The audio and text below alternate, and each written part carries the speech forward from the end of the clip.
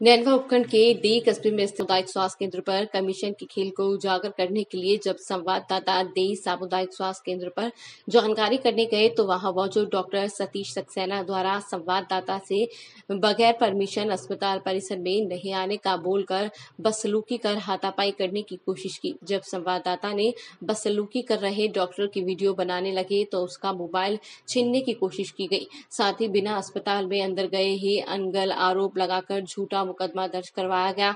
आपको बता दें कि देई सामुदायिक स्वास्थ्य केंद्र की चिकित्सा प्रभारी डॉक्टर की पत्नी होने से डॉक्टर सतीश सक्सेना द्वारा की गई बार मरीजों से भी बदसलूकी मारपीट की गई।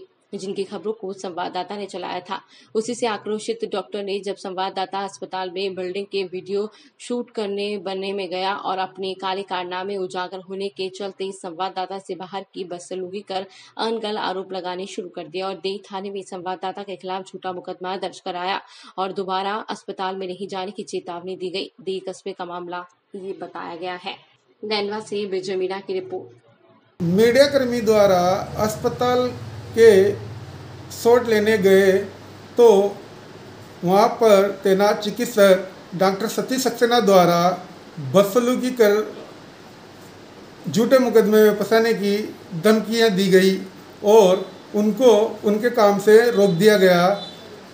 आपको बता दें कि देश चिकित्सालय में रहने वाले चिकित्सकों द्वारा मरीजों के लिए बाहर की दवाइयाँ व कमीशन बेस पर बाहर निजी लेबों पर जाँच करवाई जाती है, जिसके मामले को उजागर करने के लिए मैं दे चिकित्सालय में चिकित्सालय के शॉट लेने गया था, जहाँ मौजूद डॉक्टर सती सक्सेना द्वारा मेरे ऊपर अनगल आरोप लगाए गए व मुझे झूठे मुकदमे में फंसाने की धमकियाँ दी गई, साथ ही मेरे साथ मारपीट तक करने की कोशिश की गई वहीं कैमरे को भी छीनने की कोशिश की गई जिस पर मैंने खुद अपने मोबाइल से उसकी रिकॉर्डिंग की और वो मेरे को लगातार धमका रहा है कि आप बिना परमिशन के मेरी हॉस्पिटल के अंदर प्रवेश नहीं कर सकते। तो क्या ये सच है कि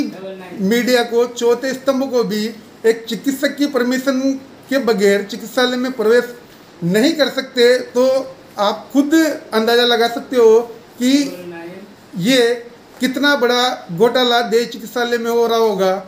लेकिन जब चौथा स्तंभ शिकायत के आधार पर आ, मामले की जानकारी करने चिकित्सालय में पहुँचता है तो उसके साथ इस प्रकार अभद्र व्यवहार किया जाता है ताकि इनके खिलाफ और एक घोटाले वो मामले उजागर ना हो।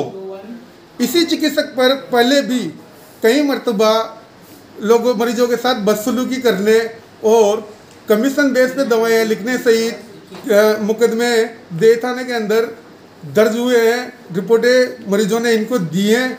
वहीं बहुत ये चिकित्सक दंपति अपने रूम पर आउटडोर के बाद भी मरीजों को देखते हैं और उनसे मनमानी फ़ीस वसूल करते हैं। इसी को लेकर जब संवाददाता चिकित्सालय में गया तो वहाँ पर खड़े डॉक्टर सतीश सक्सेना द्वारा इस तरह की अबरदा की गई। तो क्या ये वाजिब है कि एक पत्रकार का धर्म होता है किसी की शिकायत पर मामले को जानकारी करना? लेकिन इस चिकित्सक द्वारा इस प्रकार की बदतमीजी की गई है, जो एक स्वतंत्रता पे लगाम लगाना है।